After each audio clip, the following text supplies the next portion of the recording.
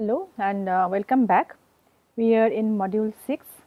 We have been discussing about the how the language processing studies, language processing experimental uh, paradigms have changed over time and um, we started with 1950s and uh, from 1950s to 70s the kind of uh, growth, the kind of different trajectories the discipline has taken we have already seen and then we also saw that by 80s things many many of the ideas were concretized and the pa paradigms were in place and how reaction time studies became more uh, and more popular with the advent of computers and availability of computers in large scale and so on. So, now let us move on to the 1990s. So, after the baseline was put in place through 50s to through uh, 70s and then through 80s, 1990 saw a very rapid growth as you can expect because now the entire paradigm has been set, the research questions have been fine tuned, the methods have been put in place, the tools are also available now. So, as a result of all of these, the 90s saw a, a quite an explosion of research in terms of lexical, um, both lexical representation as well as processing. When we talk about processing, we cannot uh, uh, avoid representation as well. So, in both of these domains, in bilingual uh, language processing literature saw a very rapid growth. So, also uh, a number of there this, this was also a time of um, um, uh, stock taking in some sense. So, there were lots of uh, reviews that came up during that time um, quite uh, many of them were very important and we still refer to them.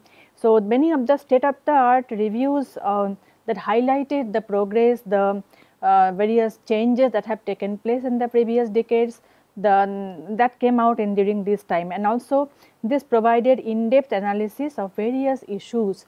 So, what uh, what is the way ahead what are the problems that uh, that uh, stood at that point of time uh, both in terms of theory as well as in terms of methods task selection stimulus uh, creation so on and so forth. So, all kinds of important issues within bilingual language processing dealing with both uh, representation and processing were, um, uh, were brought out. Impo most important of them are uh, few, uh, few that I have uh, mentioned here. Uh, Groot and Kroll's one is also quite well known. So, at the same time there were all, there were a few new journals that came out during this time which even today they, they are among the uh, best uh, best uh, journals in these domains. So, one was Bilingualism, Language and Cognition which came out in 1998 and International Journal of Bilingualism.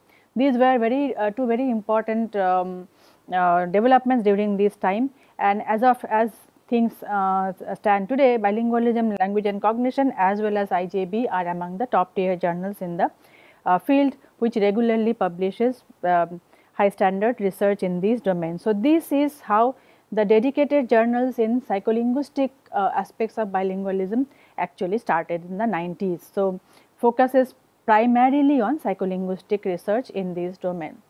Now, on the research front, this, this uh, area as I said, this saw a rapid growth. So, this output, now what are the areas within which the output um, ca can be quantified? One is diverse paradigms, different kinds of paradigms were adopted the theoretical sophistication is another hallmark of this time because after we have seen a lot of uh, developments, lots of changes in terms of findings, in terms of tasks and so on. So, a lot of theoretical sophistication was also achieved by this time um, and as a result of all of these lots of new phenomena um, were also unearthed. We will see uh, them now and once you have newer questions, newer phenomena that can that was uh, discovered, obviously there are new questions that emerged.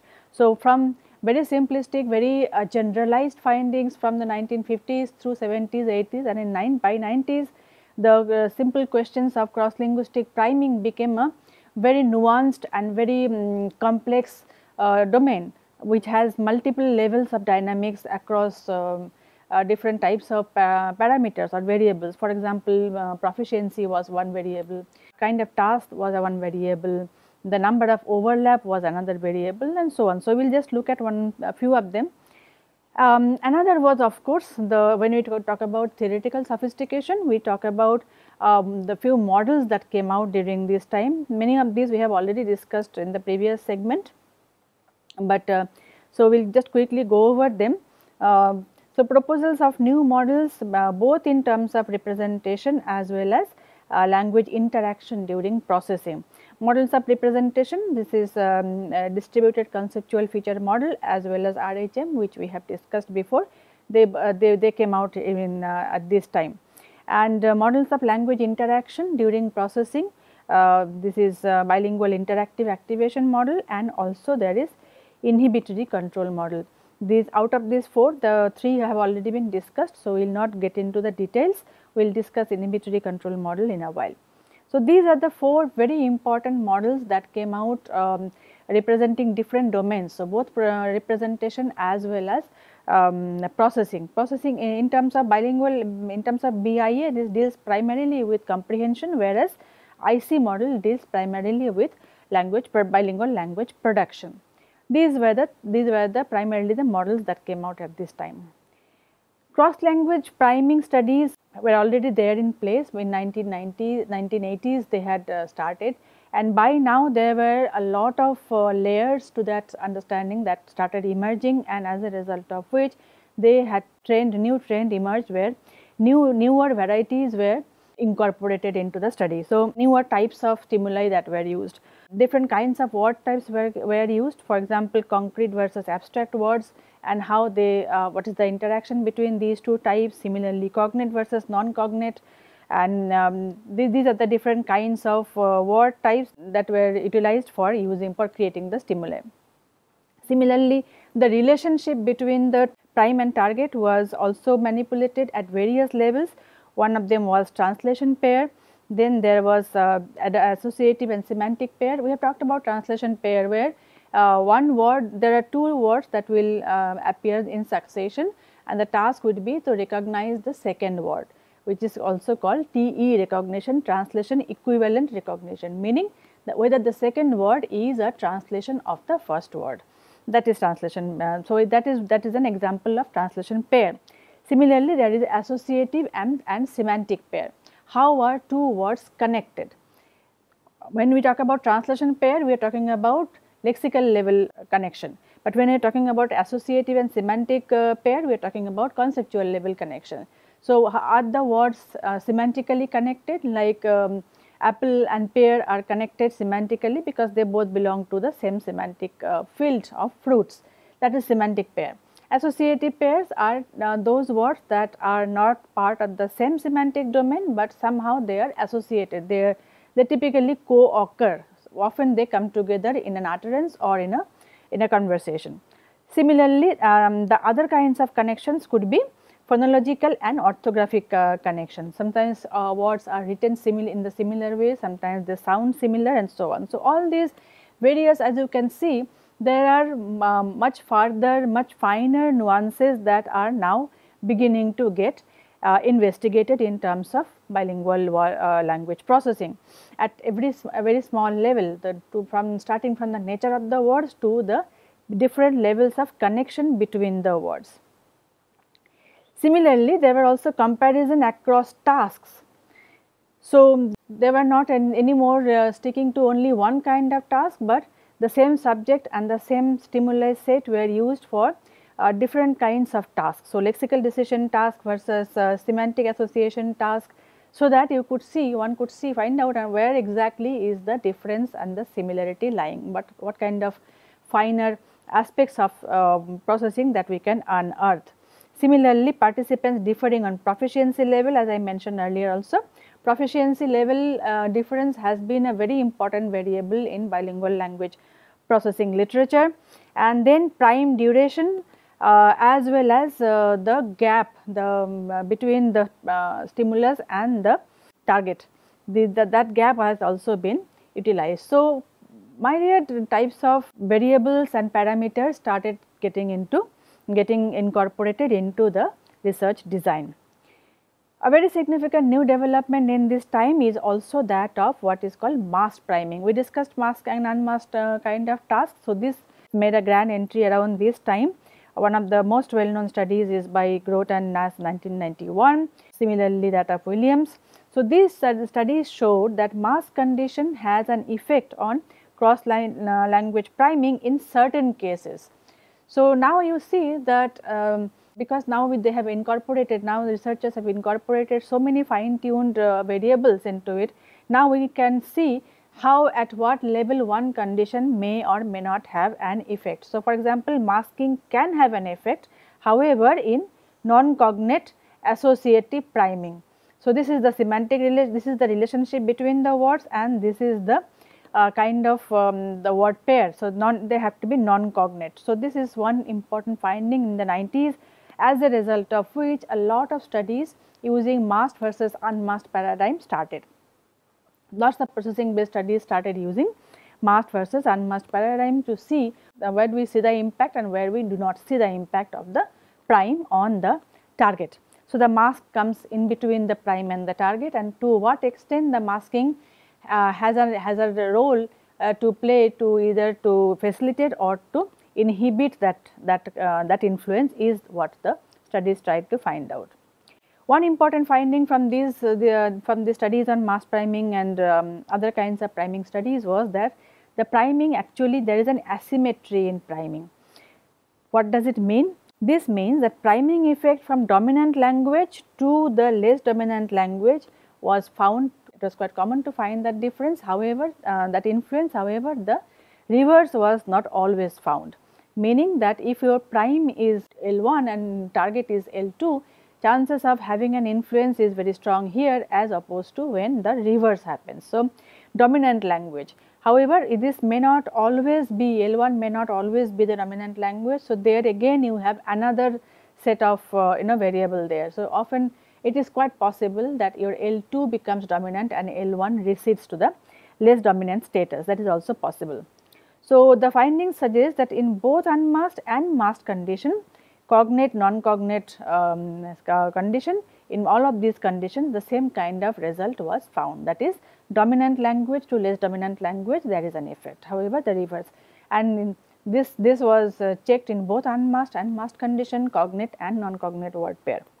Then there were um, other kinds of factors that were uh, brought in by other group of researchers who did not find the same kind of result. So, manipulation of many factors uh, including cognate status, including and prime target um, relation as well as tasks. So, everything remaining same if the task is different often the results also differed. So, this is uh, these are the two kinds of findings with respect to cross language um, priming studies that happened during this time. So, a lot of work actually happened this is um, uh, literally the tip of the iceberg, um, but the references are all there for anybody who is interested. Uh, in the 2000s, the, all of these were carried forward in the 2000s also uh, and um, the same kind of uh, same kind of studies are going on, but at a even more fine level. And uh, mm, one important factor in 2000s is that a lot of work are also accompanied by uh, neuroimaging studies and other brain mapping, various kinds of brain mapping studies, so that we have data from both the behavioral experiments as well as from neuroimaging data. So, mass primings uh, as um, studies have become quite complex now and there are many many variables uh, built into it having many layers and um, differences of course also have been found with respect to lexical and semantic priming. So, there are difference, uh, differences that have emerged in various domains. We have already seen cognate versus non-cognate, associative versus semantic um, and then you also have lexical versus semantic priming. Asymmetry as a result has remained a very important um, issue to be resolved and uh, work is still going on. Similarly, there is an asymmetry in switch cost as well that has been a very important uh, another very important domain to study that has seen a lot of um, uh, output during the 2000s switch cost asymmetry, the, the idea of switch cost and then in what conditions we do we find switch cost and are the switch cost same in both directions.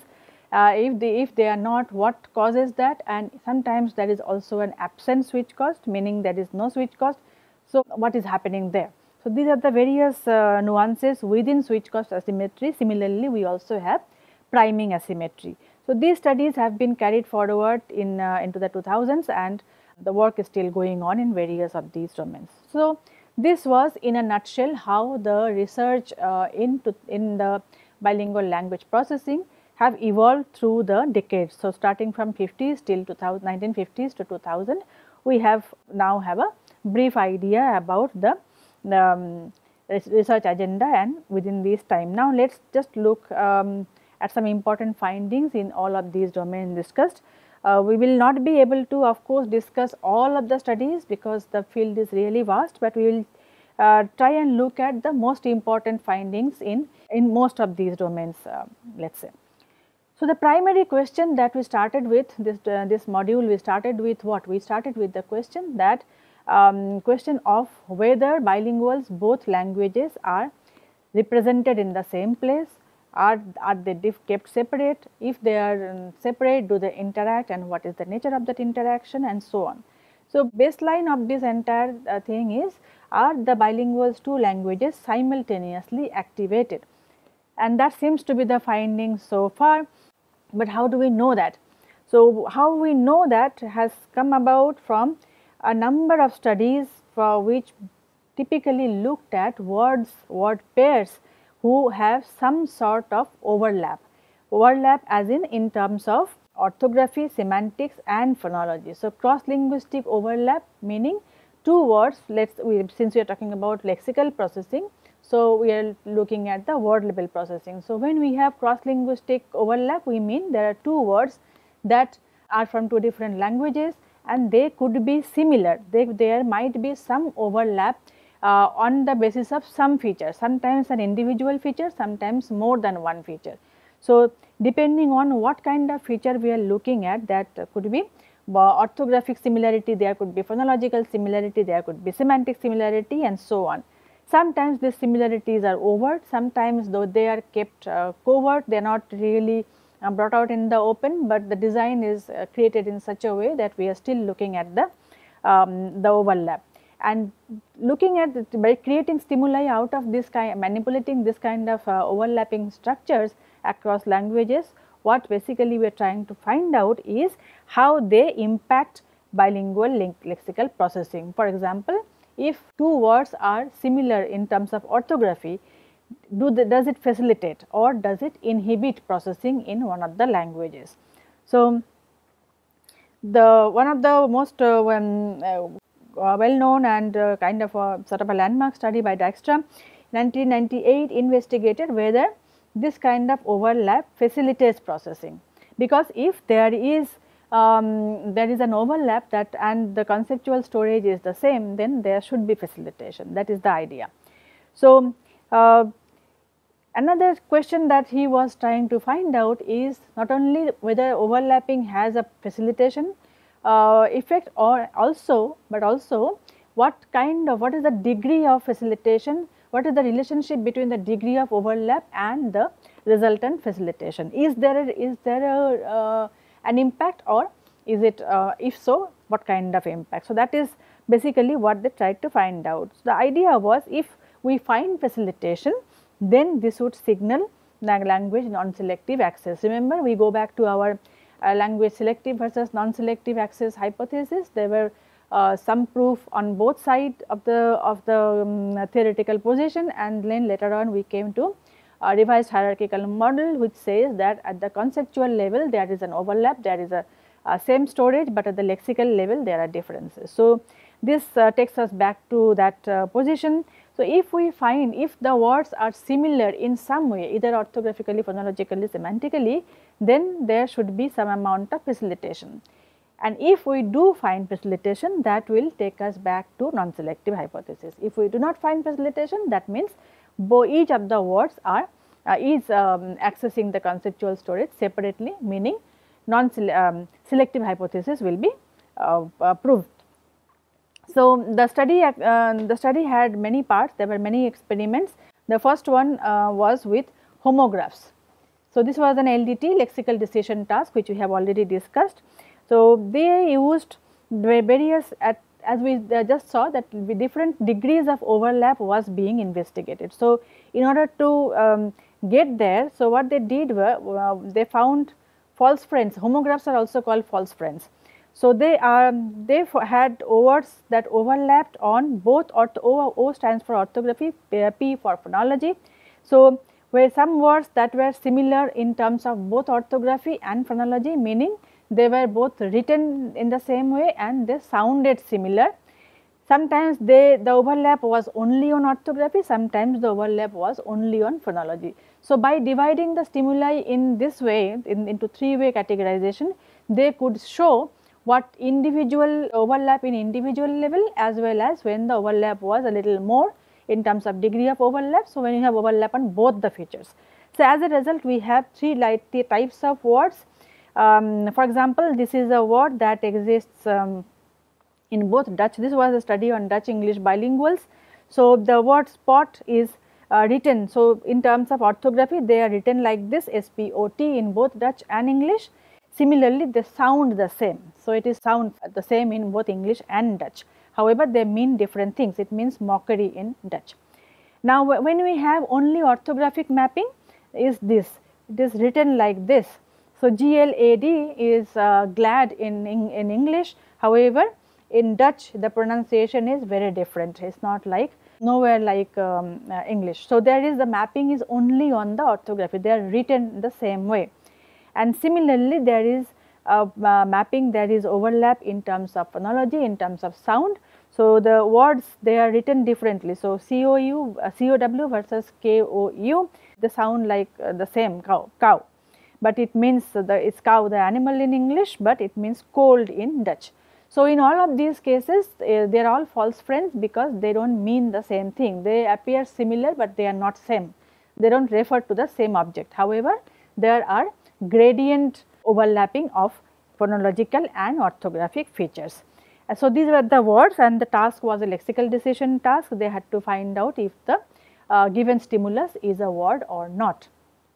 As a result all of these were used and there were also controlled words which were not false friends meaning these words were they had no counterpart in the other language and they also had similar they had, they were otherwise similar to these and then there were non words so this was the uh, stimuli set. Because this was the entire task was done in english language. So in order to not to interfere with that instructions were also given in english. And uh, this is how they had to react. And so the results were they found that when there were orthographic overlap they this showed faster processing. Meaning orthographic overlap had facilitation. When they had uh, overlapping in both O and P these items did not show any reaction time difference and only phonologically similar uh, items also showed inhibition. So, basically this had a uh, quite a mixed result and overall the authors um, uh, claimed that this showed um, a selective, a selective um, access because phonological representation works at a very different level. We will see that much later. And the same study also had another experiment using cognates. Now, what are cognates? Cognates are words that are same across uh, both languages. So, they look similar and they mean the same thing. So, the semantic property is important here in the homograph, uh, in the interlingual homographs, the um, or homophones, interlingual homograph and homophone, the, or together they are called false friends. So, false friends do, they are called false friends because they are not the same thing, they are different things. Cognates on the other hand are real friends in the sense that they are the same words, they are they, they refer to the same object in the real world. Now, interestingly even in this domain they had a um, gradation within the in terms of overlap. So, they had SOP, S stands for semantic. So, they had semantic, orthographic and phonologically mapped um, cognates Similarly, there were cognates which, which overlapped only on S and O and uh, cognates which overlapped on, on S and P uh, without O. So, let us look at some examples first. SOP when they have full overlap meaning they look the same, they are written the same way, they sound the same and they mean the same thing. Words like film, tent, hotel etc. And then they had uh, words like this the, here the semantic overlap is there as well as phonological because they sound the same. Will, this is how they sound in both English and Dutch. However, they are not written the same way as you can see the spellings are different, the, so orthographically they are different. Similarly, SO cognates, these are all cognates.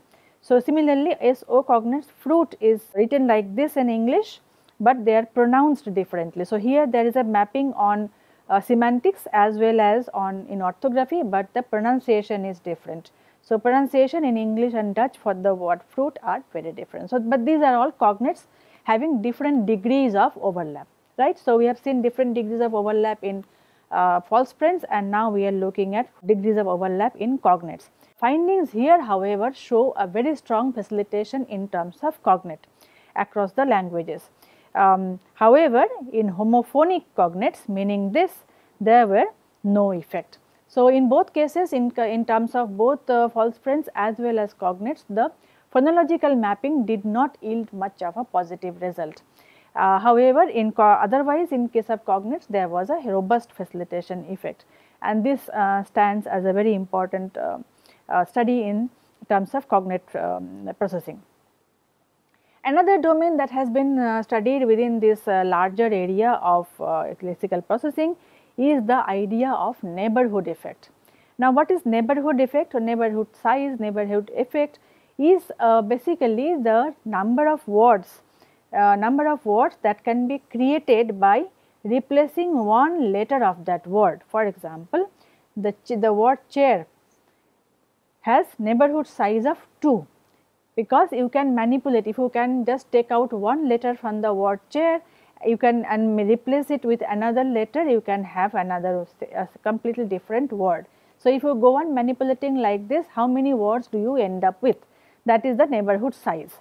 So, this uh, this is one word. So, if you remove the r from there and you replace it with n you have chen in place of chair and then the you can also have replacing the vowel a you can replace with o and it becomes square. So, this is called uh, neighborhood uh, size of a word. So, this is another domain that has been uh, that has been studied. Um, Van Heuven for example found that word recognition depends on the neighborhood size of the word in both languages. So, not only the neighborhood size of the word in one language, but across languages in case of bilingualism of course. So, the speed with which Dutch English bilinguals recognized an English word like farm did not only depend on the number of English uh, neighborhood words, English neighbors, but also the number of Dutch neighbors it had. So, even even in Dutch there are lots of um, neighborhood size also included Dutch in this case. So, basically the point is that the larger number of neighborhood uh, size you have that will have an impact on the processing not only in the language in which the word was presented, but also in the language which you are not currently using in this case it was Dutch. So, this suggests that lexical orthographic representations from one's native language are active during the word, uh, level processing. So, basically this entire study was done on English language, Dutch English bilinguals, but the study was done in English. So, critical manipulation was the cross linguistic mapping on various aspects. So, in this case neighborhood effect. Neighborhood effect they also included words that had Dutch neighbors uh, as, as, as well as English neighbors and they found an impact of the number of, number of neighborhood uh, words that even that L1 had which automatically takes us to the uh, point where we can easily say that the native language is having an impact on the non-native language processing. Remember this entire study was done only in English. However, the way the, the connection is established between the English language words and the Dutch words had been found to have an impact. So, this naturally takes us to the, this, this is a, a proof for non-selective hypothesis. Similarly, phonological effect have also been studied. Phonological priming have been studied through cognates as we have already seen cognates and homographs both, but studies in this domain are comparatively less. Some studies show that bilinguals are faster to recognize words from their second language if these words are primed by non-words that sound like the that word. Basically, this is called pseudo homophones. Pseudo homophones are those homophones that are actually non-word. It's very interesting study by Brysbaert and his uh, group. So, what they did this was also a study on Dutch um, uh, first language speakers. So, this was a Dutch French bilingual group. They found out that they will be faster to recognize the French word. So, if they saw uh, the non word just before which sounds like the French should if it is pronounced in Dutch. Okay. So, the critical thing here is that these are Dutch French bilinguals. The study was done in French how and it was uh, preceded by non-word. So, lexical decision task. So, non-word having um, non-word uh, as a prime and then they had a um, uh, French word to process. However, that non-word which is non-word in French, but if it is pronounced in Dutch it sounds like a word in Dutch. It sounds like the French word if pronounced in Dutch. So, basically pseudo homophones have an impact on processing the second language. The same um, stimuli was, was also used by on, on a group of bilinguals who had the reverse languages. So, this was a French Dutch bilingual rather than Dutch French bilingual and um, they found that the influence across languages also goes in the opposite direction. So, this works both ways. So, pseudo homophones when pronounced in the L1 sounds like a word in L2 there will be facilitation which is quite an interesting found uh, finding. They also found that L2 pseudo homophone prime which sounds like sword if pronounced in their second language that will facilitate their processing of L1. So, basically this works in both ways. Similarly, there are studies in um, word naming studies with what is called word body neighbors. There is another kind of mapping. Mm, uh, you can see there are basically what we are looking at here is cross language priming. And that priming can have different levels of overlap in terms of homograph or homophone, similarly cognates, then we looked at neighborhood, uh, they're all they're all mapped right? They're all there is all all kinds of overlapping that are being mapped here and studied similarly we even looked at pseudo homophones now we are taking this forward to look at word naming in word body neighbors. Now what is word body neighbor? This these are word body. Save and wave are word body neighbors. The de definition of this is words that share their medial vowel and the final consonant. So, basically the second part of the word if they are similar except the first consonant. This is what is a word body, um, the similarity. So, uh, Jared and Kroll 2001 study showed that people were significantly slower to pronounce words in their second language when a part of that word could be pronounced in a different way in their first language. The study is on second language, part of that word however has a counterpart in their first language, but the pronunciation differs. Very interesting study. So, they had words like bake in English and so this has this part, English has this part called B-A-I-T. So, the you leave the B because we are looking at word body. So, the uh, first vowel and the second consonant, right. So, this is the uh, definition. So, medial vowel and the final consonant. So, medial vowel is A here and the final consonant is T. So, the word body uh, needs this part. Now, this word body across language is what they were looking at. So, French English bilinguals they were looking at English word bait. However, they uh, found out that they took more time to pronounce words like bait, but not in case of words like bump, like B-U-M-P bump. And the idea and the, uh, the reason that was put forward is that that in the there because their first language is French and French also has a word like this and it also has so this is you see uh, word body neighbor. These are word body neighbors across languages. However the problem here is that this is pronounced differently. In French this is not pronounced like bed this is fa. So the pronunciation because it is different so that had an interfering effect in pronouncing the English word. Remember French was not used in the experiment, this is only uh, the manipulation was that these subjects were first language speaker of French, however English was their second language and the task also was in English. They did not find similar problem with words like this which had no word body neighbor in French. So, this is um, another interesting finding with, the, with respect to uh, cross language uh, mapping overlap in various domains. However, they did not find opposite kind of impact, meaning the first language was not found to be impacted. Here the impact was only from L1 to L2 and this we will find uh, in many cases there is an asymmetry. This is what is the prime um, cross language priming asymmetry. So, the priming in this case is not uh, always possible in the other way. So, if you have uh, French words to, pronounce, to pronounce and they had an word body neighbor in English language that did not affect the French pronunciation. However, English was affected because L, uh, L1 had these words. So, this is another interesting um, area. Now, till now we are looking at visual word, uh, word processing. Now, we will move on to auditory word processing. In case of visual word processing, what happens? The words are presented visually on a computer screen most of the time. So, you look at it and then the processing follows. So, you under you, either you comprehend or you um, produce whatever. In auditory word processing, the, uh, the stimuli is presented through auditory mode. So, they uh, the same kind of logic, same kind of uh, paradigm was used here also trying to see if cross language facilitation is um, visible in case of auditory word processing as well. Subjects again were Dutch English bilinguals. This was an eye tracking study and um, this uh, they looked at a display while listening to an auditory stimuli. Let me tell you a bit about eye tracking study here. Uh, in eye tracking study what um, the paradigm used for language research is what is called visual world paradigm. Visual world paradigm is um, a paradigm where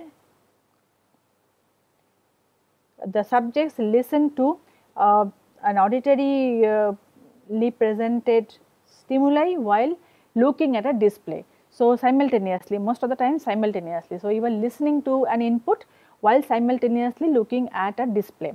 Often this display will be some pictures, there will be a grid of um, grid like this. Um, so, there is one picture here, one picture here, one here and so 1, 2, 3, 4 like this. And then depending on where on the screen uh, your eyes go and fix it is what is taken as the output data. So, you as, as you listen as the auditory stimulus unfolds your eyes will um, scan this uh, screen the display and uh, try to find a match most of the time. So, this is what is visual world paradigm all about. So, in this particular study they were looking at a display while listening to an auditory stimuli. Now, they found that lexical competition was there in non-native spoken word uh, recognition meaning the competition was found in case of English. English because it is the second language of these people uh, that is why it is non-native language and this was a recognition study.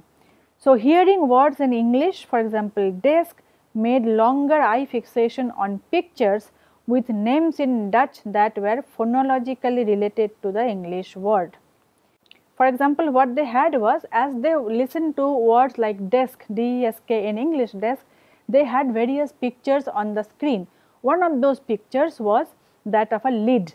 Now, lid is uh, called deskel in, Dutch, right. So, the word is not present, the picture of that uh, picture that would represent that word is present there. Now, when they listen to desk, the eyes will go to deskel. You see the connection, this is quite a far fetched connection. The picture is there. Now, you know that Dutch name of that picture is deskel and now deskel is similar in phonologically similar to the stimulus desk in English, hence there was a matching. So, they were looking at that picture even though this is not what they heard okay, because they start with the same sound. So, however, the opposite effect influence from English names for pictures on Dutch was not found right. So, Dutch English speakers did not look longer at picture of a desk when they heard the word deskel. So, basically what this means is that the represent here even in this kind of studies even in this eye tracking study in using visual world paradigm the effect is seen from the dominant language to the non-native language, but not the other way around. So, the impact of L1 on L2 is stronger rather that than that of L2 to L1. So, L1 does not get affected much by the L2 representations. So, so this suggests that interference from phonological representations from the other language is larger when processing one second language. So, this asymmetry is uh, found in uh, large number of studies using different kind of tasks and different kinds of um, uh, paradigms you will st still find this kind of an asymmetry that L2 gets affected by L1 in different kinds of scenarios. Similar kinds of findings are also um, reported by other researchers using the in, in this particular study. This was Russian English bilinguals. And uh, they were instructed in English to pick up the marker when they hear um, they were hearing this sentence. And they looked at a stamp. Again the similar kind of thing. They were listening to auditory stimuli while looking at the display of various pictures. The picture of stamp got higher fixations fixation as in the participant looked for longer time. The, the eyes stayed there on, that picture for longer duration. So, that is fixation.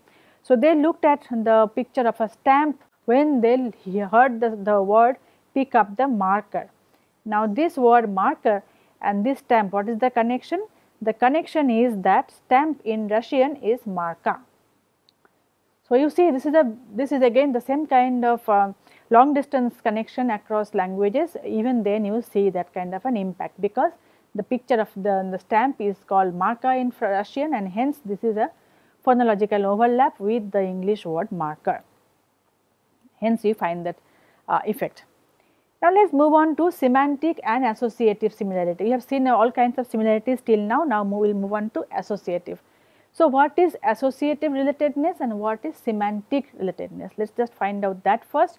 Now associative relatedness is a description of the probability that one word will call to mind another word. It often happens, we, we talk, talk about um, you know uh, uh, cup and plate, they are not the same thing, but they, they, all, they often come together, right.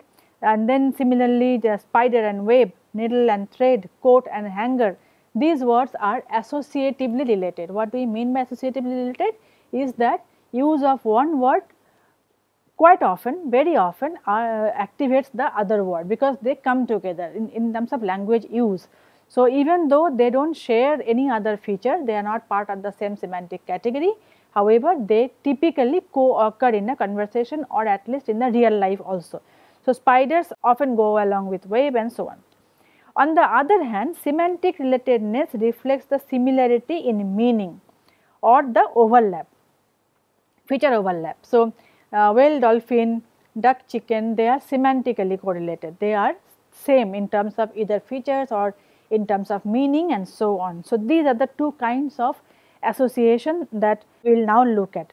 It is possible for words to be either highly associated yet semantically dissimilar or weakly associated yet semantically similar, right. So, you have two kinds of features, you have association associatively related versus semantically related and then you mix and match you get all these kinds of possibilities. So, words coat and rack are semantically vastly dissimilar however, they are very highly associated. Similarly, radish and beet are semantically associated because they are both root vegetables, but they never they very very rarely they co-occur right. So, keeping this in mind uh, now let us look at semantic priming studies uh, using semantic priming what we find is that semantic priming over semantic priming as in when there is an overlap between the stimuli and the target in terms of semantics.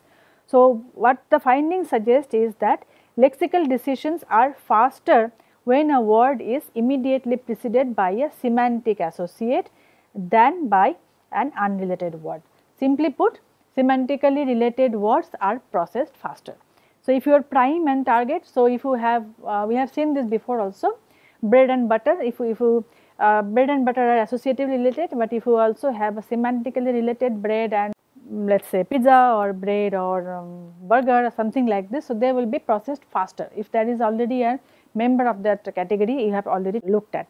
So, if the, the prime target pair word pair are connected semantically then the target will be processed faster. That is what majority of the findings suggest. Now, several studies examining semantic priming across number of languages found this advantage for a related prime. Okay. And that priming and uh, this effect is found not only in within language condition, but also across language conditions. So, bilinguals both languages if you have uh, two words in uh, prime and target using the, uh, within the same category, but across language you will see the same kind of priming. So, semantic priming without association etc., we will find robust priming. Associative priming without semantic without semantic overlap also we find robust um, uh, finding for like help and wanted and something like this. But there are some issues uh, sometimes we find the uh, in case of associative priming we do find the uh, the proof of um, facilitation quite often, but there are there have been issues um, within that domain that are typically with task task related issues and uh, if there are different tasks sometimes we do not find the result. But by and large the finding is that semantically related primes can facilitate the target and as a result we can safely say that L1 and L2 um, share the conceptual level. So, there is at the conceptual level there is only one set of uh, only, only one stock even though lexical level there can be differences. So, similar asymmetry however is visible here too. Semantic priming effects are generally larger when the primes are in L1, targets are in L2 than the other way around. Okay, so, this is another interesting thing now um, that we have found in almost all the studies that prime yes so, lexically connected words whether at uh, orthographic level, phonological level we have seen different kinds of findings, but one thing has remained almost uh, constant which is the asymmetry and that same asymmetry we find even in terms of semantic um, priming. Though the priming uh, effects are quite robust, however, there is an asymmetry uh, whether it is from L1 to L2 or L2 to L1. And um, this is another important thing here is that uh, the SOA stimulus onset um, uh, arrival this is basically the gap between the two.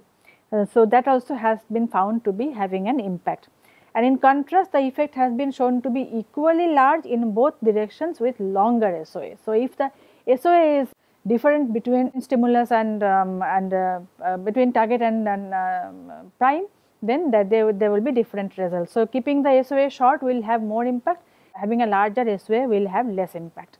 One study that we carried out on Bodo Assamese bilinguals had this kind of um, mm, this kind of a design.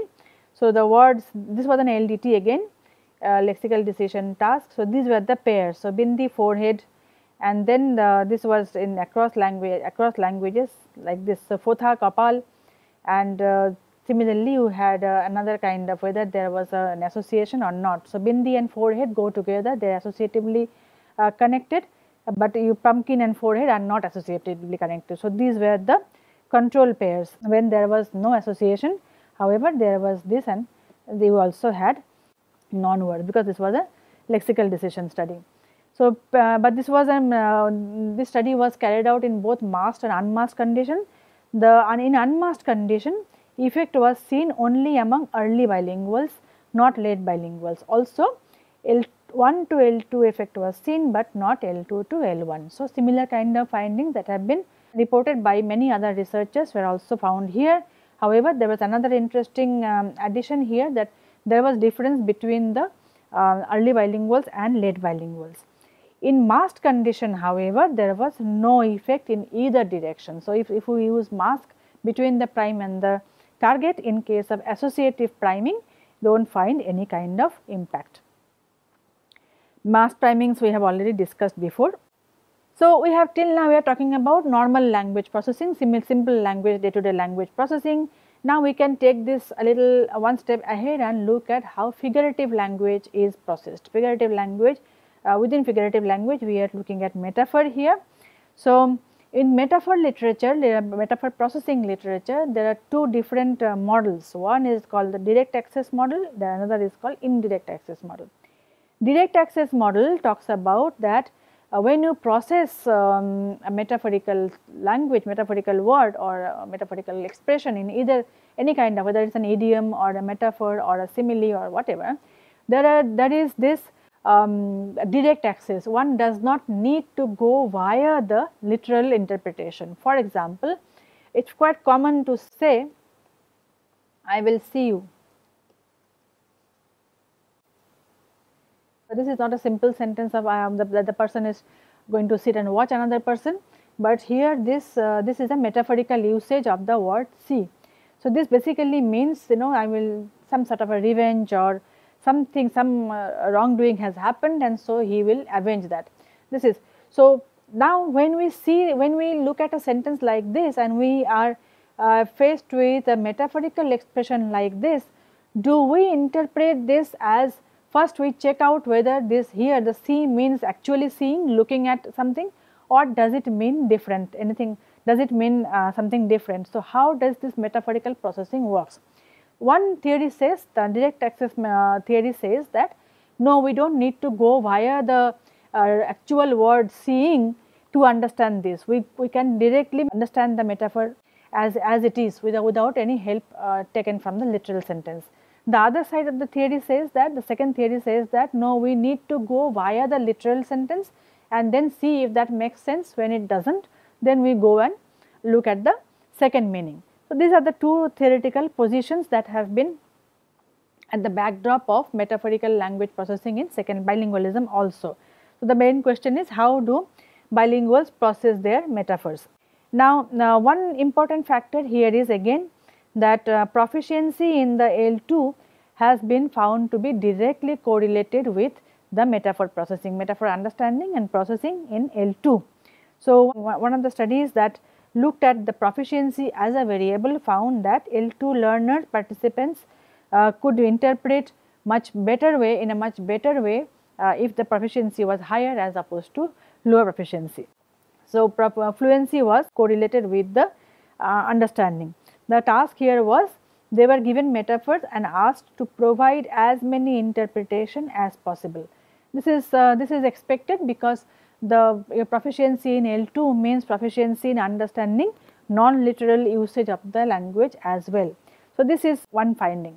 In another um, uh, well known study on metaphor processing, bilingual metaphor processing, they had this kind of a auditory stimuli. So, they, this was sort of a conversation that the uh, people were people listened to. This is the story. There were many stories like this. So, there was a passage which talks about in this particular case there is talking about a boxing bout. So, they went for a Saturday night fights and there was this guy who always lost the one boxer who he hated because this boxer was a um, rather an incompetent person and he never won, he always lost and so on.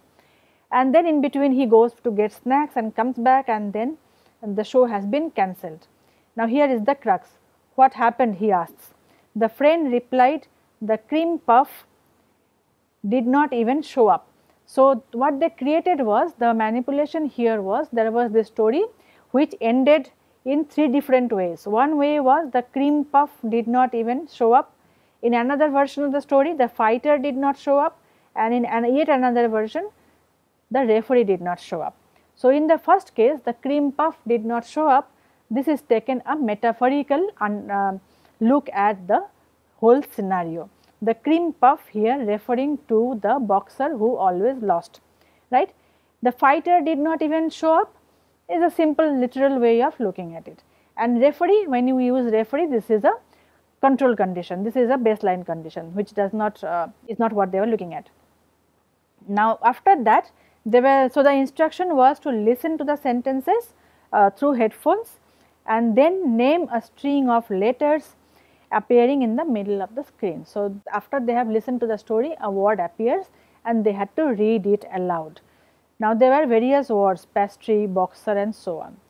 Now, you see the manipulation was here when so the connection between cream puff the, the sentence the way the sentence was presented the cream puff did not show up and then presenting pastry after that and presenting boxer after that right and uh, so do you, so if you have listened to cream puff, do you take longer time to process uh, pastry or longer time to process boxer?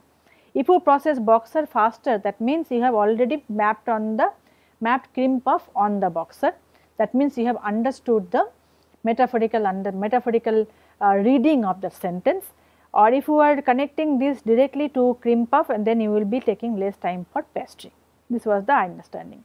Another manipulation was here the uh, time that they gave. So, there were two, um, there were gradations of the time. So, uh, at 0 ms, so immediately after listening to this passage they were presented with the words at uh, and then they had many uh, in between and they also had 1000 millisecond post offset.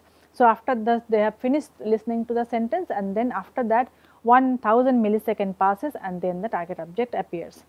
Now, results actually differ depending on the kind of uh, time they gave that, that is the SOA effect. So, bilinguals uh, showed evidence of the availability of non-literal interpretation when it was presented immediately after that, immediately after the sentence. So, if it is if it is presented quickly in quick succession metaphorical representation was processed. However, if you give them more time they process the literal one. So, in the first case if in this case the boxer will get preference in the second case the uh, pastry will get in uh, preference. Hence, time is a very important factor time as in the time that you give between the stimulus and the target that we have seen before also and that holds for metaphorical processing as well. So, these are the various domains within language processing um, literature uh, in terms of comprehension, bilingual language processing in terms of comprehension. Now, let us move on to the production studies. So, we have uh, processing includes comprehension and production as we have already seen. Now, when we talk about production, there are uh, various models. we have already seen the models of comprehension before, um, representation and comprehension. Now, we will move on to some models within production study. One of the uh, one of the most influential model is inhibitory control model or IC model proposed by David Green. Now, this model is concerned with language control when bilingual language production happens. Why do we even need a control?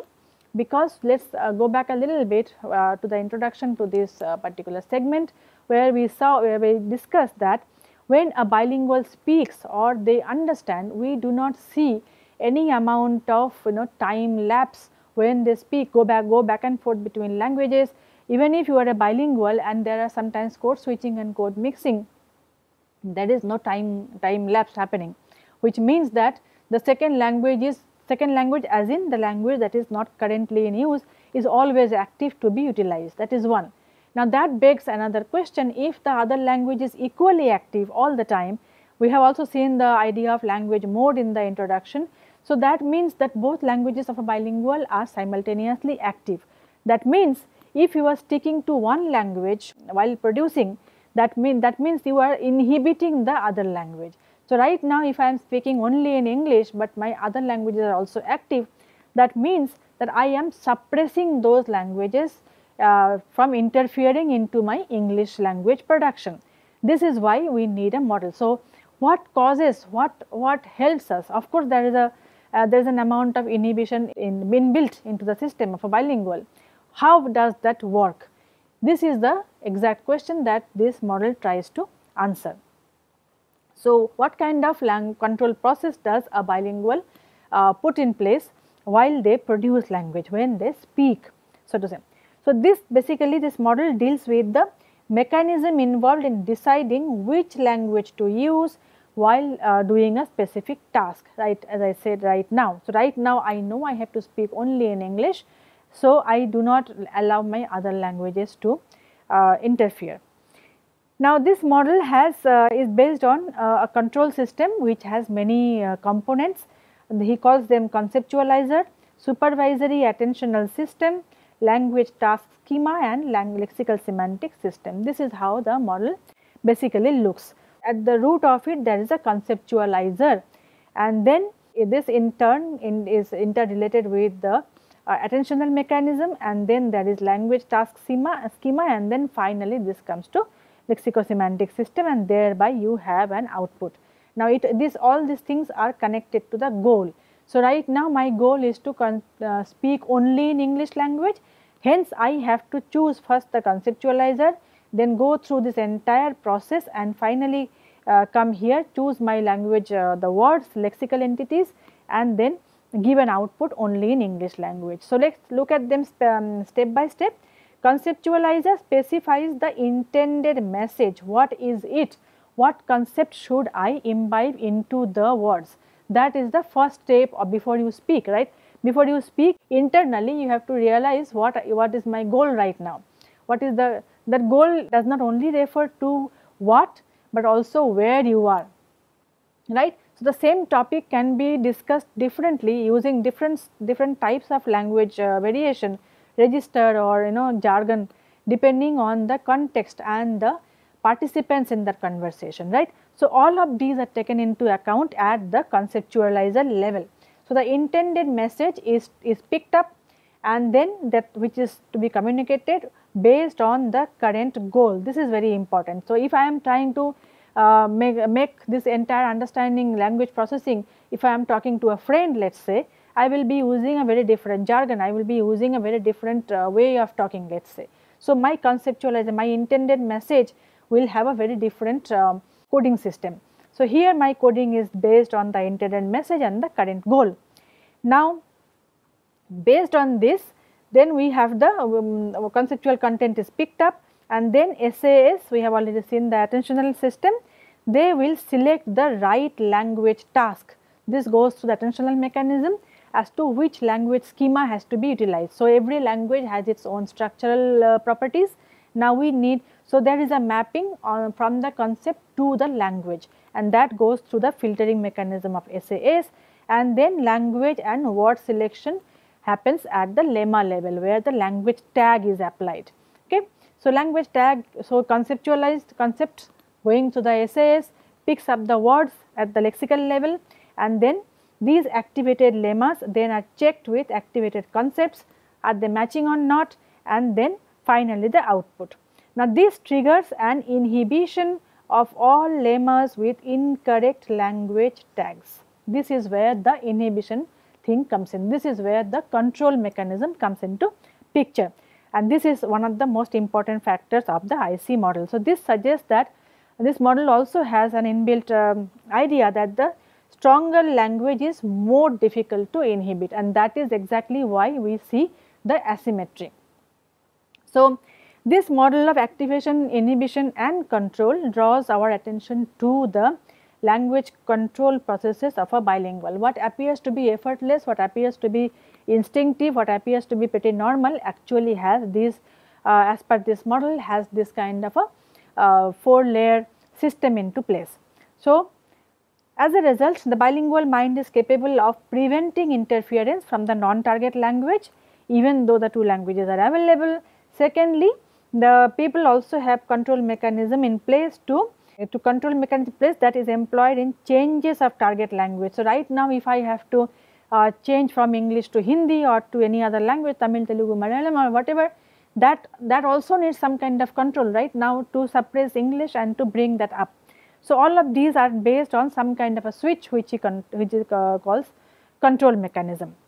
So, as a result this control mechanism is at work for both inhibition as well as for execution of the language task and that is exactly where the idea of switching cost comes in. Okay, this is a very important um, idea in terms of um, language production. Switching cost basically refers to the uh, processing cost in terms of um, switching between two languages. When you switch language from language A to language B uh, versus language B to language A, there is a cost involved, meaning there is a time difference that you take, reaction time difference. So, the this is reflected in terms of greater RT when there is a switch as opposed to when you are speaking in only one language. So, to give you a simple example, let us say right now I am speaking in single language only in English, but if I have to name uh, objects in two different languages Hindi and English, switching between Hindi and English, my uh, time taken will be much longer compared to as I am taking now. So, this is the switching cost. Before we get to the switching cost, we let us look at some studies so, bilingual picture naming task this is this report is taken from Hernandez 2000 this is part of a study that where he also used fMRI. So, he, this was a Spanish English bilingual group uh, the, who had English as their dominant language. So, English though it was L2 second language it was their dominant language L1 was not dominant. Okay. This was a picture naming study in single and mixed language block in order to check the switching cost the main result of the study revealed that mixing cost uh, was reported in, uh, in term uh, as opposed to switching cost. So, mixing cost was seen in both English and Spanish. So, this is the Spanish single language block RT and this is mixed language uh, block RT. Similarly, Spanish monolingual and Spanish uh, mixed, mixed uh, block RT. So, in both the first language and the second language picture naming took longer in case of the mixed block as opposed to the single block. So, what they did was they named the pictures in both English and Spanish and in both cases English was named in single language block as well as in a mixed language block. What happens in a mixed language block is in the mixed block the pictures are named in English, some in English, some in uh, Spanish like that uh, based on some cue. So, now how long do you take to speak in English in that block versus how long do you take to speak in English, name the picture in English in the single block is the difference that is measured, right. So, and they found a uh, mixing cost in that study. Yet another study they found they used they had balanced bilinguals Russian English bilinguals again a picture naming task and um, they found them to be performing similarly meaning there was no switch cost that was reported in this study and this has been tied to the, the idea of balanced versus unbalanced bilingual. Previous study had uh, the subjects were more proficient in their L2. English was the dominant language, however, this was a balanced bilingual study. Here another study by Gollan and Ferreira, they have they also had unbalanced bilinguals for a picture naming task again, but here the crucial manipulation was that that switch was voluntary as opposed to uh, inbuilt in the system. So, as a result the participants were free to choose when to switch or not to switch and they found that there is they did not find any uh, switch cost. So, uh, very low switch cost or absent switch cost. So, this is again was tied to being whether the switching was voluntary or involuntary. So, when the when the uh, switching is inbuilt in the design meaning you are forced to switch then you find cost, but in terms of uh, free switching uh, you, uh, voluntary switching you do not find the cost. So, these are the different types of finding within with respect to picture naming. Uh, another area within uh, language production is digit naming, naming. Now, digits and pictures are heavily used because uh, of certain interesting properties. Pictures and digits are similar in some sense, in some sense because they are they provide no cue on how to pronounce the concept. This is the concept itself in some sense.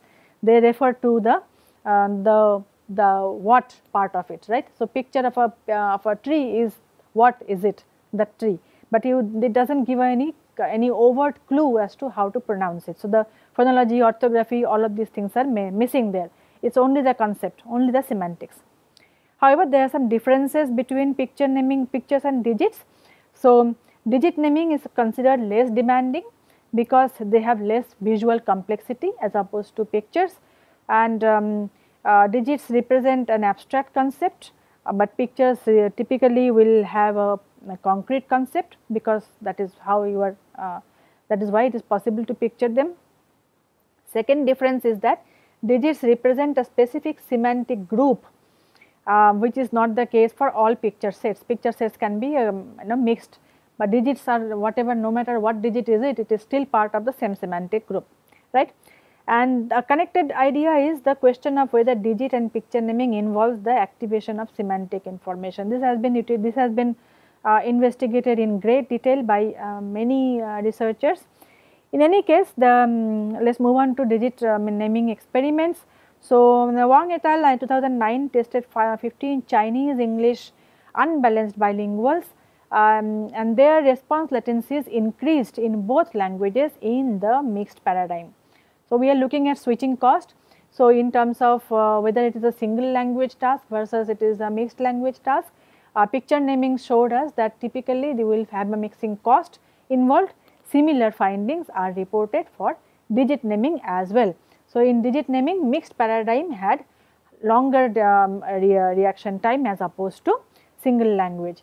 Uh, again Gollan's uh, group conducted the study on two high proficient bilingual, bilingual groups, two groups Spanish English and Mandarin English.